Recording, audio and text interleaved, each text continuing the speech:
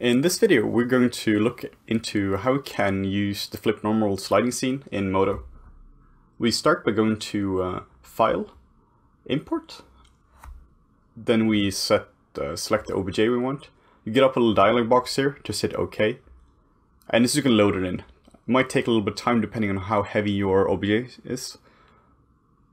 So now it's going to load it in here in the viewport. Uh, you might have to rotate around a bit, scale it up, We've already done that, so we don't really annoy you too much with that.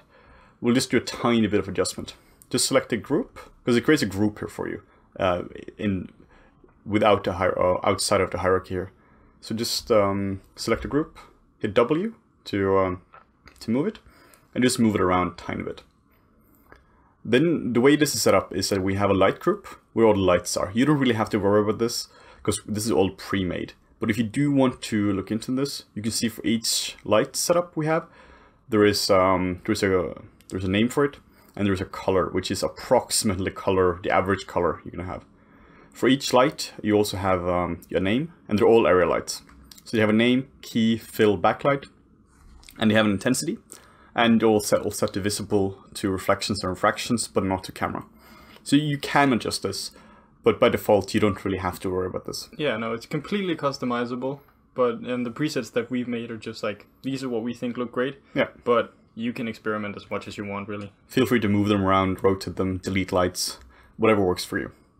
So once we have our character in here and it's and fits to the camera, and oh by the way, we uh, use uh, we're in the render tab now, and uh, we're using the standard cam. There's a close-up cam as well, which is well, it's more close-up, but we're just gonna use the standard cam for now.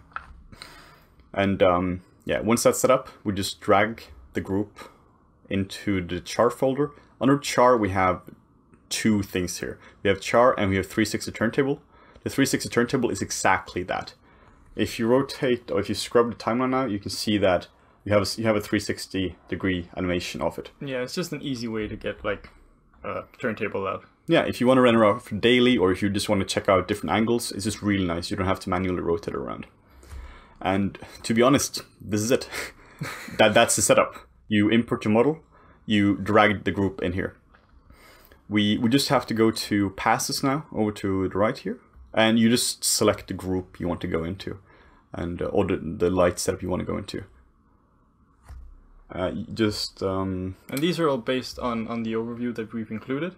So yeah. you just check the overview. What do I want? I want my render to look like this then you activate that pass yeah. and uh, you're good to go. This is really quick. Like this is all set up with the correct materials and um, yeah, the correct lighting. So each um, each light here, or yeah, each light pass here has its own material or all own light setup. So all are hidden except for one. Same with the materials. The way the materials are set up is that um, if you're going to reshader tree here, we have some for pedestals, because we have a pedestal material, or pedestals, which we'll get into later on. We have a char material, or char item.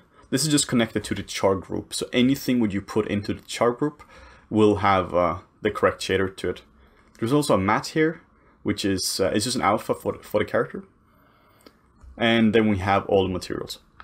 They're separated into three groups. We have general materials, like we have some glass, some uh, marble, and just general colors.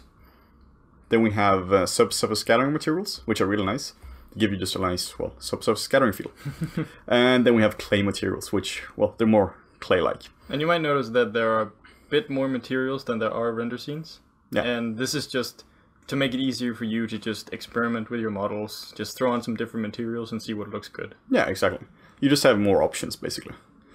And you can see there there is now one which is visible here, the, the char concept gray, and this is the one which is on the character now. So you, as you saw, you didn't have to actually assign any materials to it.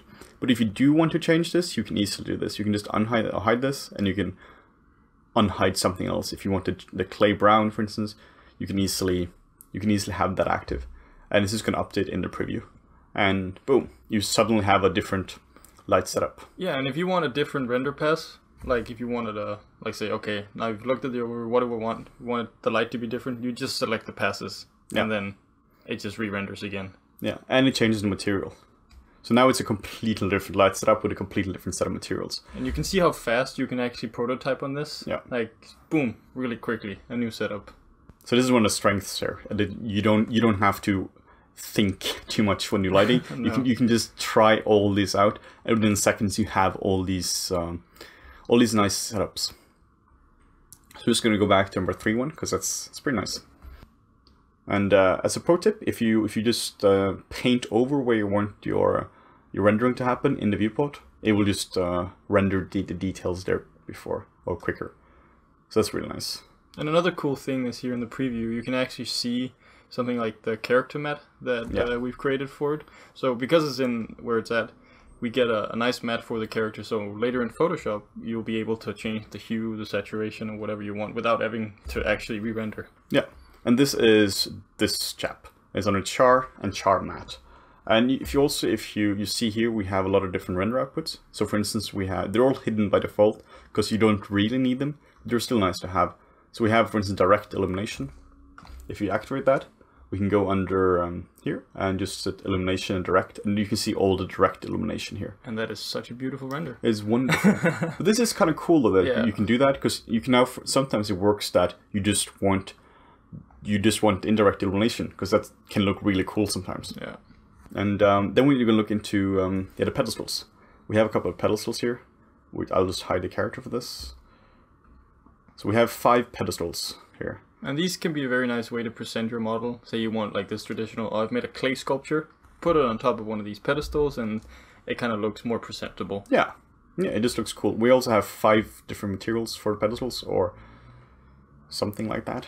Yeah, I mean these are the, the, the pedestal materials aren't restricted to those. I mean you can no. throw any you know, throw some SSS materials on them as yeah, well. Yeah, exactly. It doesn't really matter. So you can just hire you can just assign a different one as well. Yeah, so these are really nice. It's just a nice way of, yeah, as Morten says, presenting your model. And um, let's hide those. And another really cool thing that is included in this is with the Modo 901 is that we actually have control over the actual camera now. Yeah. So if we wanted something like depth of field, that's actually something that's possible. And, yeah. and Modo makes this really easy now. Yeah. So we're going to look into into that now, and um, just before we look into that, uh, we go into the final color output, and you can see we change the exposure control to photographic. This means that something like the f-stop, shutter speed, and ISO, which you can find here, we um, will actually control the brightness of the image now. And like, you don't actually need to know anything about cameras in order to use this. No. Because the way it's set up, it makes it really easy to get more or less yeah. like level of blur in your picture. Exactly. So let's say we want some depth of field into this now. Uh, it's already enabled, uh, but if it's not, or you use the scene later on and you disable it, just hit uh, enable depth of field. And um, you can just hit Control F. This is just a nice little pro tip for you. If you hit Control F in the preview, this is just going to set autofocus. You can see the autofocus distance now on the screen right here is changing based on where I click. Yeah, it's so easy.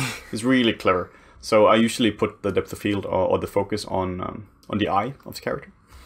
And now we can um, adjust the, the f-stop. The f-stop is, the lower the f-stop is, the, the blurrier the image is going to be. So we can just like divide this by uh, 2, and we get 1.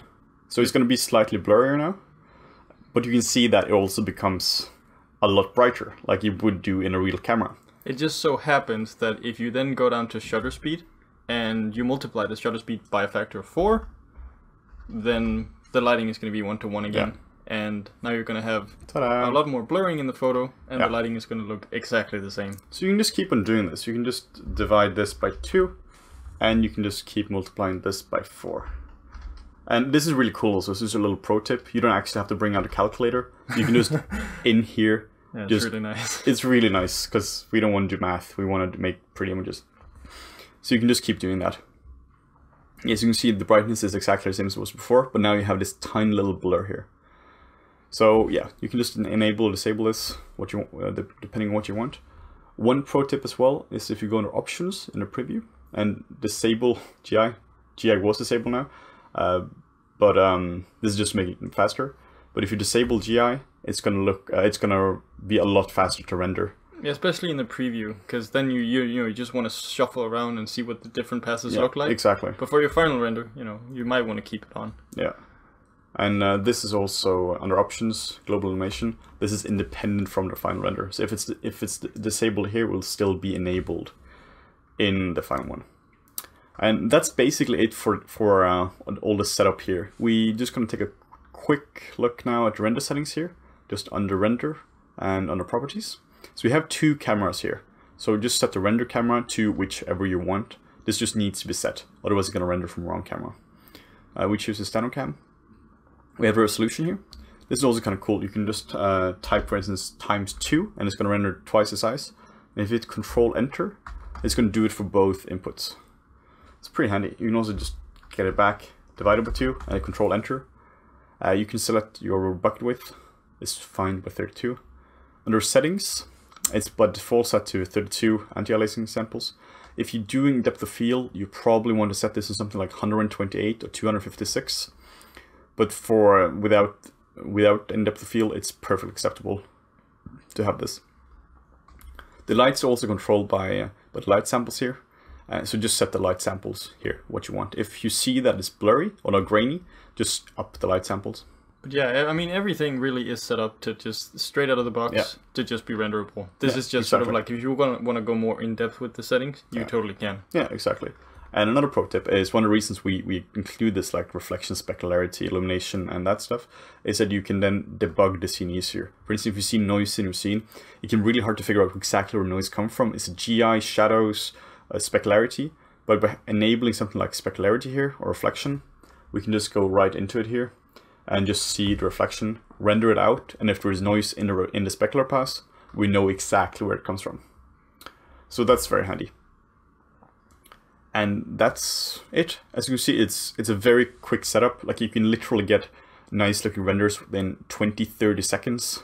Just drag your model in, put it in the character group, shuffle around the the groups here, and uh, and that's it. We're, we're just going to show you one more feature as well before I render this out. Is if you go on a render and render passes, and you select the pass group, which is lights, this will just render out all your all your render outputs or render passes here. And this is really cool. It's basically you just throw in one model, yeah. you get out 13 different light scenarios. Yeah, exactly. And yeah. then you can experiment in Photoshop with that, or you can just um, you can just you go for lunch and you suddenly have 13 rendered lights set up which you, when you get back. Really cool stuff. We're not gonna do this now, but uh, you definitely want to experiment with that.